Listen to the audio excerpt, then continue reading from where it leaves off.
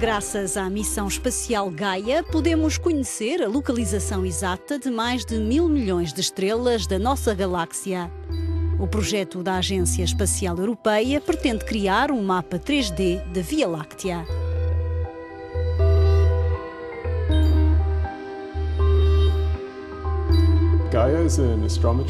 O Gaia é um satélite de astrometria. Foi concebido para medir as distâncias e o movimento das estrelas na nossa galáxia e também um pouco fora dela. Se conseguirmos fazer um mapa do movimento das estrelas, podemos diferenciar os grupos de galáxias que surgiram ao mesmo tempo e tentar perceber como se formou a nossa galáxia e de onde vêm os seus diferentes elementos. As primeiras versões do mapa, em 2D, foram criadas na Faculdade de Ciências da Universidade de Lisboa.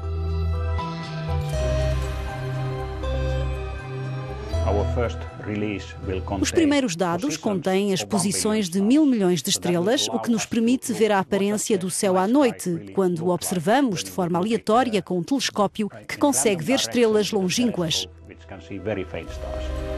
Atualmente, os dados dizem respeito a menos de 1% das estrelas da Via Láctea.